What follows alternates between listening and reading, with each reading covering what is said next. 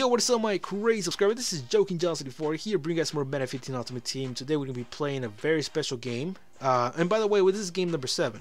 Today's gameplay, guys, we're going to be playing against a guy who bought an ebook. And the way I knew he was he bought an ebook is because I showed this gameplay to one of my brothers, and he confirmed it, that he was using the New Orleans offensive playbook. And the plays that he was calling in was a counter and some kind of a passing play that pretty much led towards the under the free safety, the little route, the little post route that goes inside. And um, I admit it, it was a good passing play. But the thing is, in the whole gameplay, guys, this guy only called in two plays. Two. And when you call in the same fucking play, I will adjust. And you'll see that on my fucking third drive, you know, or second drive on defense or something. I forgot when it was, but that happens, you know. It's gonna fucking adjust. My defense will adjust to it. And I got lucky. I was like, yeah, that's what you fucking get, bitch, for calling the same fucking play. And then his defense, god damn it, it was horrendous. All I had to do was counter all day. Have that counter because he only had three yellow zones in the middle and he had the blue zones going back, right? The three blue zones. It's almost like a cover three, but except this time you don't have flats going on the outside. So it left me open for crow routes, for counters, and whatever that's going outside. Even screens. Even the screens got easier. So I was like, yeah, that's what you get for calling the same play. And this this is one of them right here. Uh, this play action right here pretty much leads that receiver under the free safety with all the goddamn time. Or maybe my free safety sucks because I know my previous free safeties like Micah Hyde and my other one, uh, Mike Adams, they usually drop inside and pick the ball. But this guy never does that shit. I don't know why. He fucking sucks. So here's another example, guys, on defense, on my offense. You know, Demaryius Thomas calling in a comeback, nice catch by him, seven to seven. 50 seconds to go in the first quarter. Nice counter run by Doug Martin. telling you guys, this guy is just leaving the guy open right on the outside. Another counter calling in. Doug Martin taking it for more than 10 plus yards, 18 yards, 20 yards. Nice game by Doug Martin. I'm telling you, don't call in plays that don't even fucking work. That's what I did with my defense. I called in that 3 3. It wasn't working. Okay, I'm just going to stick with my 4 6 and the 4 3 wide and the 4 3 over have four different defensive plays, but the fourth one fucking sucks. The 3 3 it fucking sucks. I ended up switching from that place. So back on defense, as you can see, he called in the, that passing play. He's going to call it in yet again for the third time in a row, third and 10.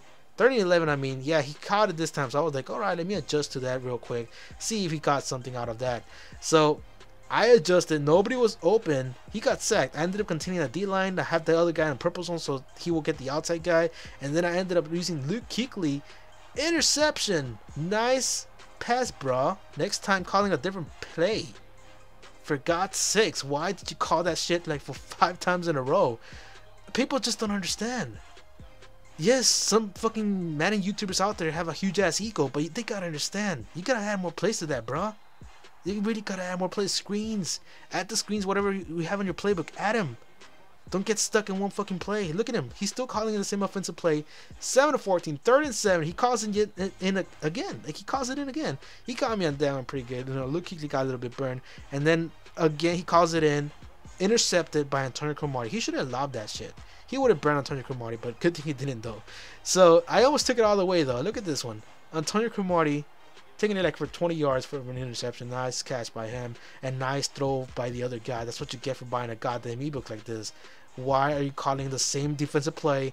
Brandon Marshall yet open towards the outside. I told you guys if I do a comeback, these guys are always going to be catching the ball. And by the way, that's the name of the route. Now, I'm not telling you guys that I will be doing a comeback from uh, I don't know like zero to 14 or something like no. That's the name of the route.